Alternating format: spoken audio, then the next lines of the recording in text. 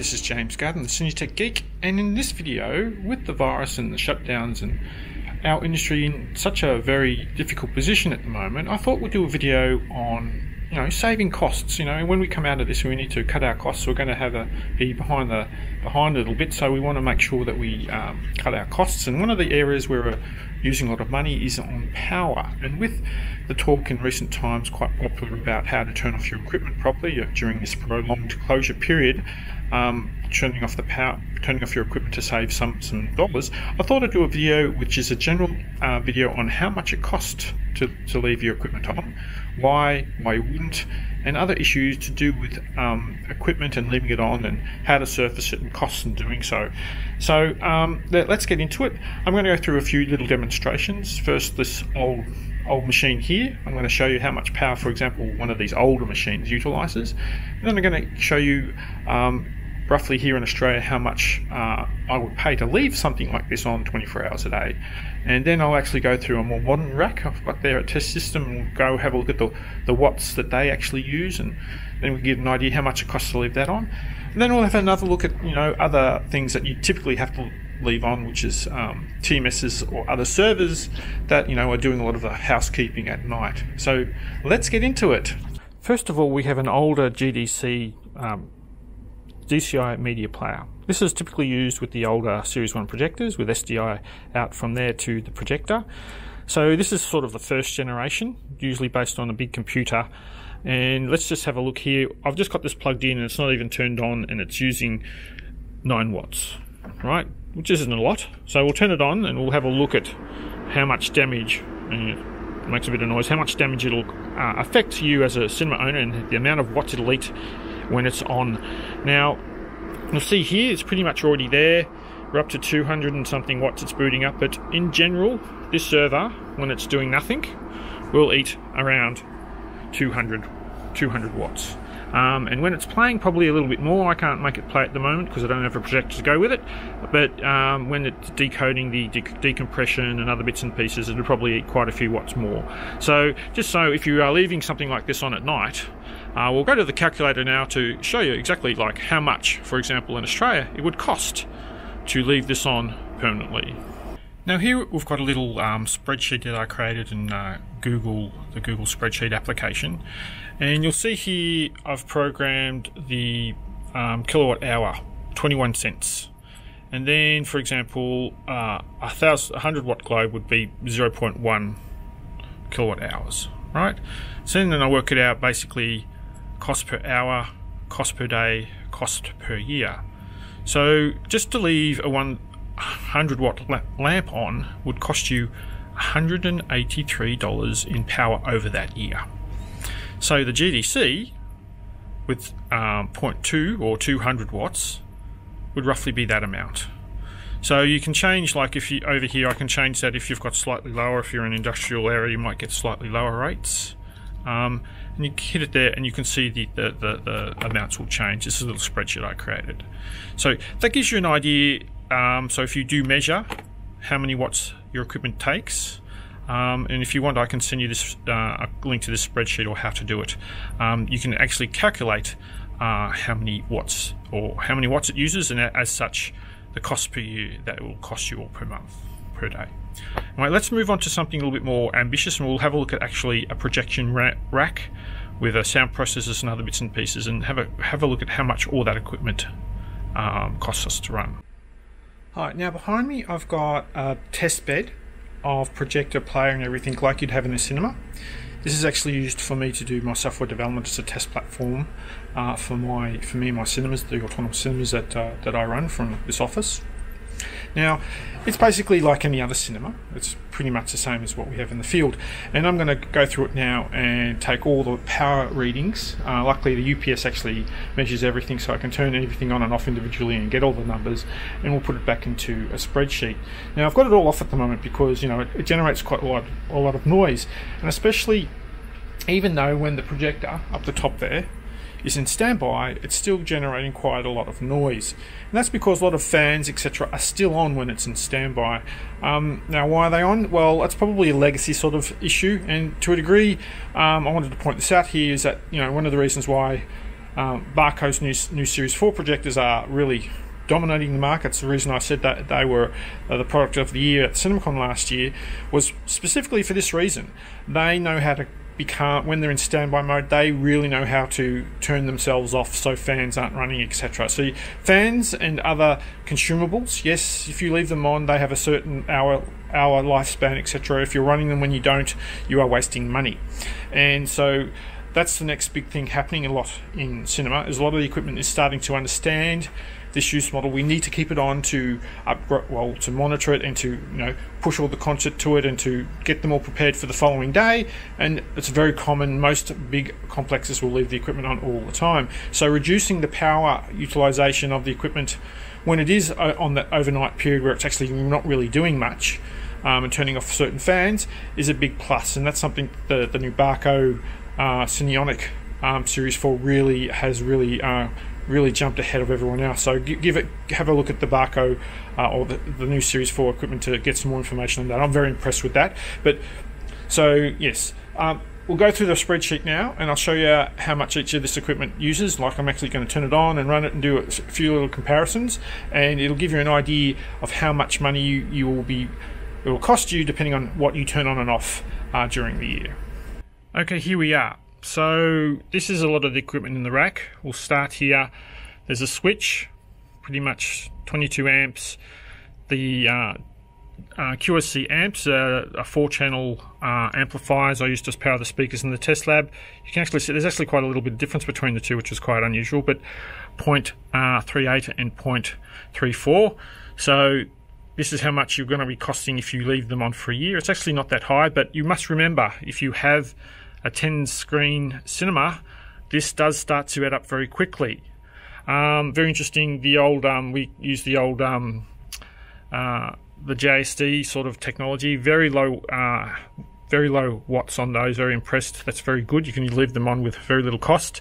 But now we're really talking about the projector itself, um, and here um, is where even in standby, um, it's nearly a, a, a thousand or hundred watts, which is like a hundred watt globe on all the time, which is um, that much per year or pretty much the same.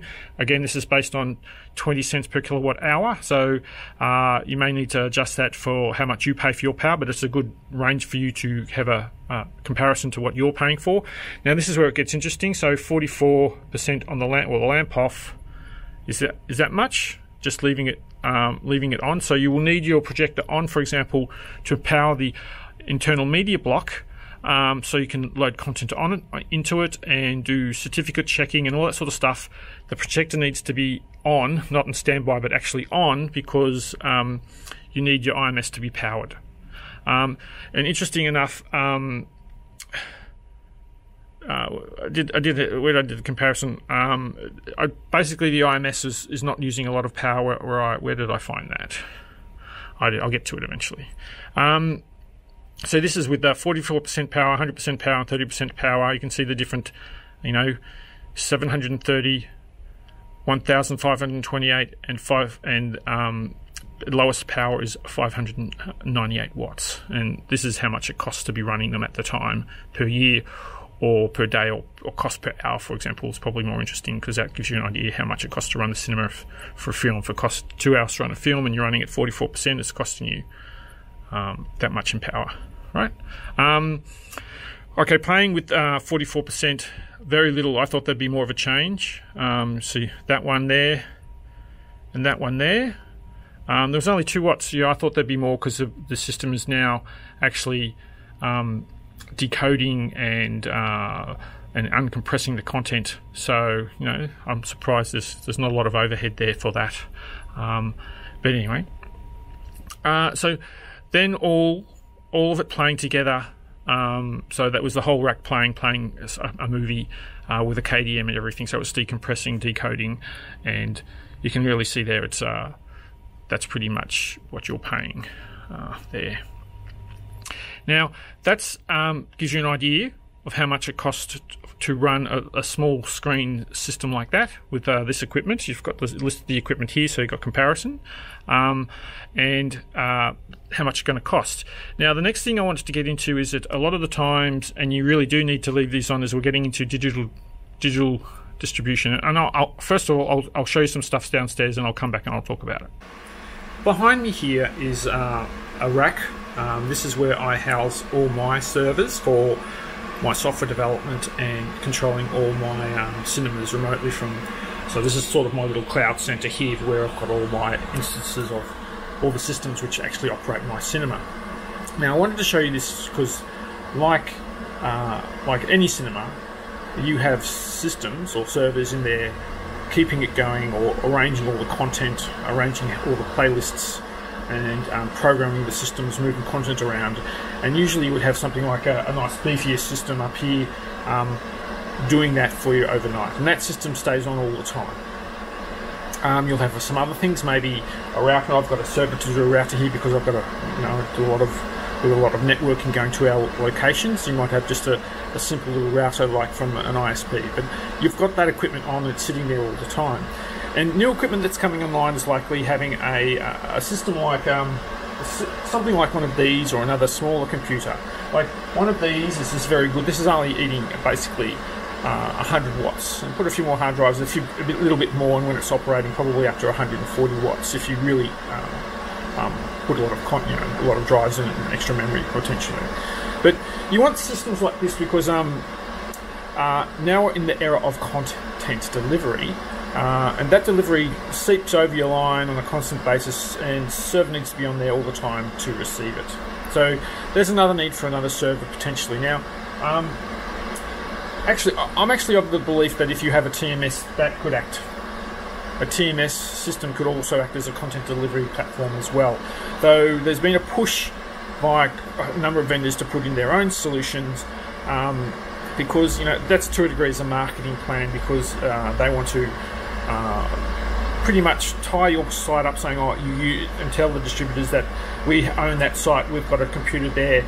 Please you, you must sort of use us to get content to the location. I'm not a big fan of that because it doesn't that's more of a marketing plan for those people out there servicing the industry to try and um, you know build a, you know a slight monopoly play or something to, to um, derive some power from that sort of marketing side of things. We just want to show films to cinema operators, and we don't want to have to put too many servers in. For example, imagine if you had five companies um, wanting to send you content, and they all wanted to put in a new server. So there's five servers running five different, you know, there's you know 100 to 150 watts, 100 to 150 watts each.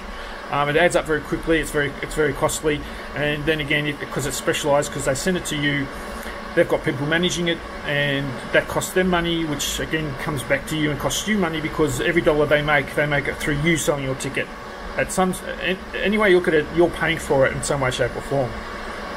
So I'm a big believer that we need to take control of that ourselves as in cinema operators and manage it and, and, and, and, make sure the costs are controlled and are to the benefit of us and even to a degree sometimes the distributor because they will pass on the costs to you anyway.